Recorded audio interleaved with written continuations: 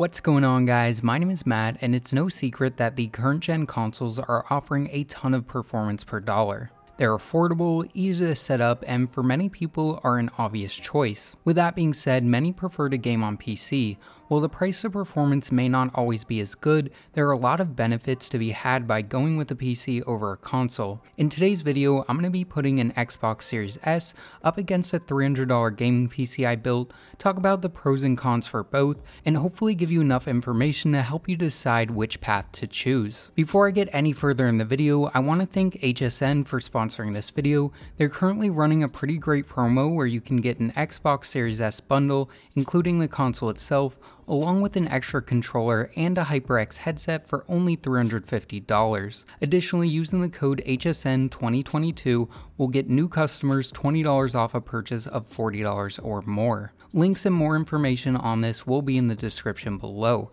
So if you come out of this video deciding a console is right for you, I think this is a great deal on a bundle to get you up and running. Also, something I'd like to add is that while this is sponsored, I'm going to be giving you my full, unfiltered opinion on both options to make sure you make the right decision for yourself. So let's talk a little bit more in depth about the two challengers in today's showdown.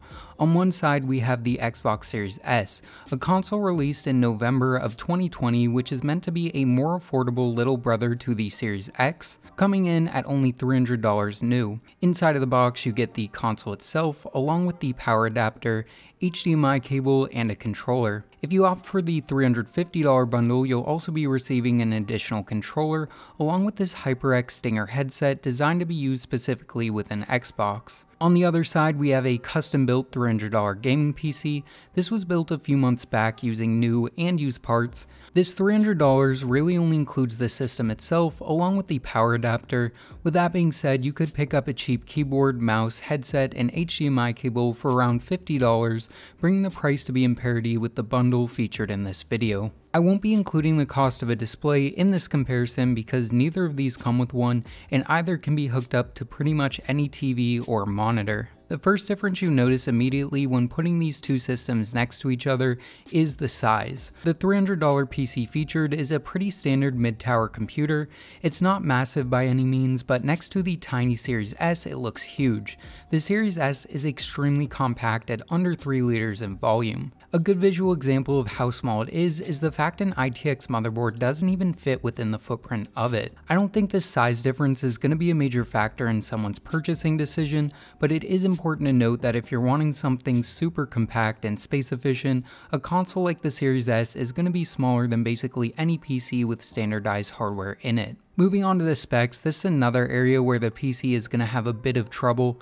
The Xbox Series S is sporting an 8-core 16-thread Zen 2 CPU, along with a 20 compute unit RDNA 2 GPU. It has 10GB of unified GDDR6 memory and a 512GB Gen 4 NVMe SSD. This system was designed to target gaming at 1440p 60fps. The $300 gaming PC is sporting a 6-core 12-thread Ryzen 5 1600 CPU, along with an NVIDIA GTX 970 4GB graphics card.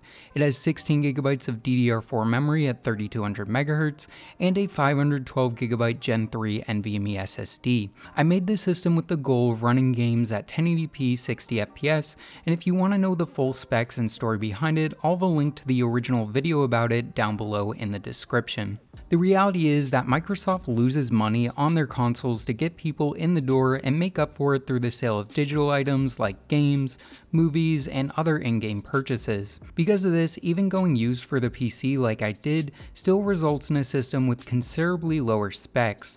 Obviously, specs don't tell the whole story, and there's still 100% a case to be made for the PC, which I'll be doing throughout this video, but the power difference is still important to note. So now let's talk about setup. The Series S being a console took all of 15 minutes to unbox, plug in, and get set up. I was even able to set it up using my phone, which is a lot easier than typing with the controller and on-screen keyboard. On the other hand, we have the $300 PC, which was definitely more involved. I first had to hunt down all the parts, which even with my knowledge took a couple of hours of time to find the right deals, then I had to assemble it, install Windows, and install drivers.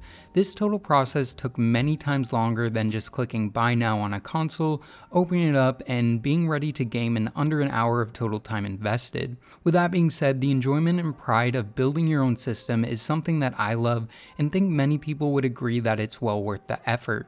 So if you're just wanting to game on a budget and not worry about all the technical stuff and setup, then the Xbox is the clear choice, but if you're a nerd and tinkerer like myself, then the process of researching and building a PC may actually be the more attractive option.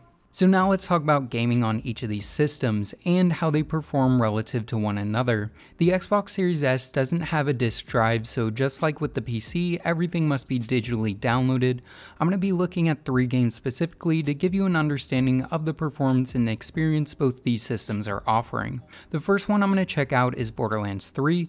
This is a AAA title from a few years back and both systems play it very well. On the PC side of things, this $300 computer plays Borderlands 3 at 1080p, medium settings with an average around 70 FPS, and 1% lows at 48. This looks and performs great in my opinion and is a perfectly valid way of playing this game.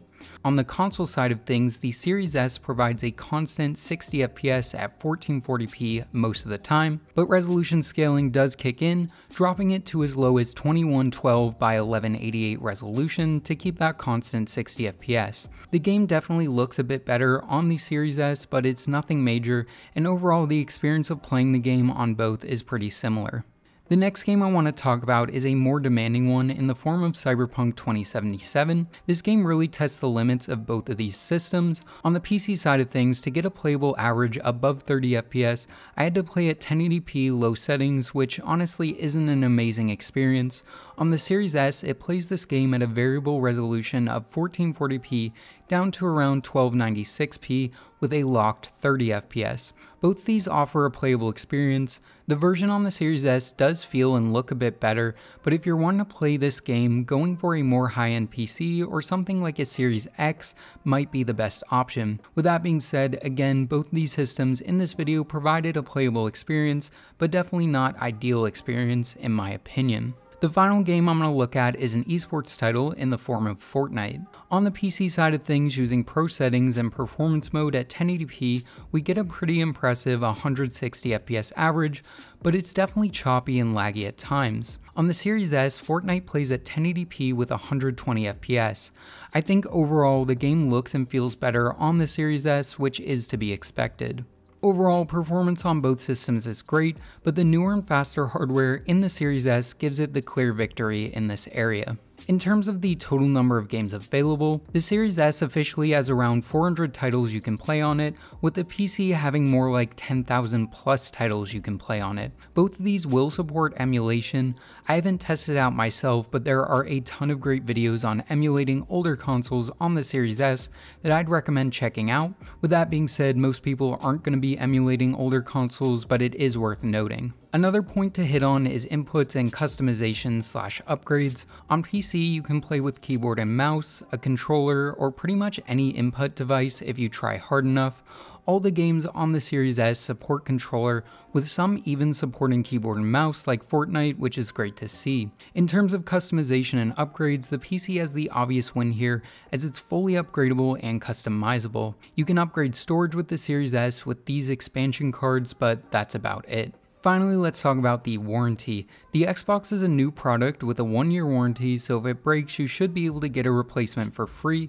If you're building a PC with used parts like this one, then you likely don't have any warranty to fall back on if something goes wrong. With that being said, you can pretty easily fix a PC yourself if something fails, whereas with the Xbox, you pretty much need a professional if something goes wrong. So after going over all this information, you might be asking yourself, why would I ever choose a budget gaming PC over something like a Series S? Well, the main argument I would make is the fact the console pretty much only plays games, and the PC is a PC.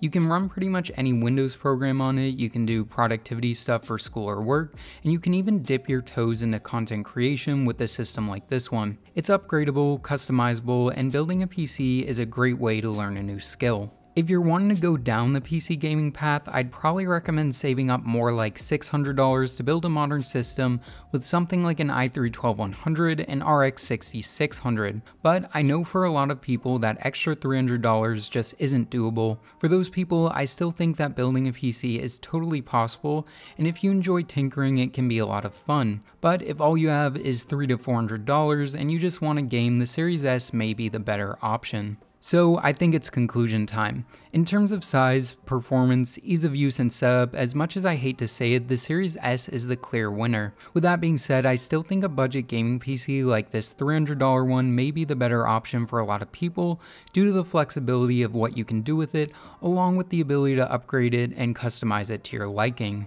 If you're interested in a Series S, like I said at the beginning of the video, today's sponsor HSN is offering a $350 bundle that includes the console itself, an extra controller, and a HyperX Stinger headset. The controller is a standard Xbox wireless controller, and the headset is a wired unit that plugs in the controller. It's very comfortable and offers pretty good sound quality through the 50mm drivers and built-in mic. Additionally, using the code HSN2022 will get new customers $20 off the purchase of $40 or more. Make sure to check out the links in the description for the bundle, and thanks again to HSN for sponsoring this video. So yeah guys, I think this wraps this video up. I hope you guys enjoyed it. If you did, make sure to give it a thumbs up and consider subscribing. Oh, and as always, this is Matt from Tech by Matt, signing out.